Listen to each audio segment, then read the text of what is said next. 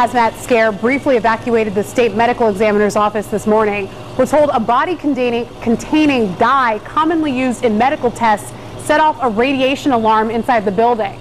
Well, after a full check of the building and no sign of threatening radiation levels, everyone was allowed back inside.